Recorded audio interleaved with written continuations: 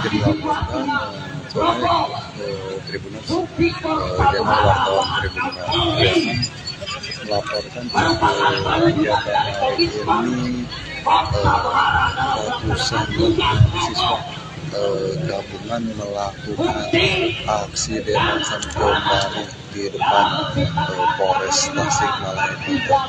Aksi ini dilakukan eh, untuk eh,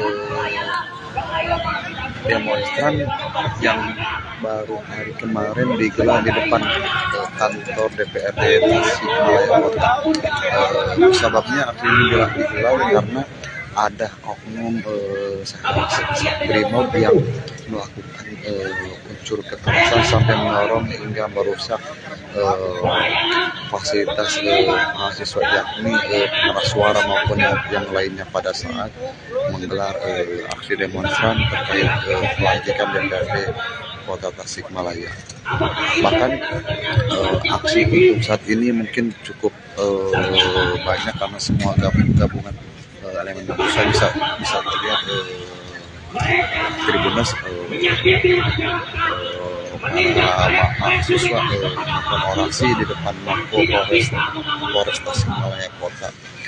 Uh, tidak hanya itu aksi uh, radikal dilakukan oleh oleh salah satu mahasiswa memperagakan polisi dan karena oknum tersebut sempat eh, unsur kekerasan terhadap wanita juga dari mahasiswa. Bahkan eh, seperti tadi pada saat kejadian kemarin saat malamnya eh, oknum tersebut eh, melakukan pertemuan dengan pihak keluarga mahasiswa untuk eh, meminta maaf.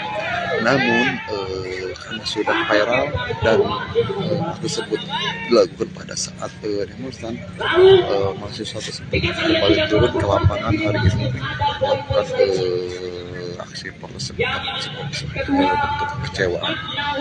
Eh, puluhan eh, ratusan mahasiswa ini datang eh, pada hari pukul satu hingga saat ini masih terus bertahan di depan Polresta eh, Tasikmalaya Kota. Bisa terlihat para anggota anggota Polres pun yang tetap berjaga eh, tanpa eh, menggunakan eh, panjang pakaian saja mungkin dari saya eh, nanti akan diupload ke sesi berikutnya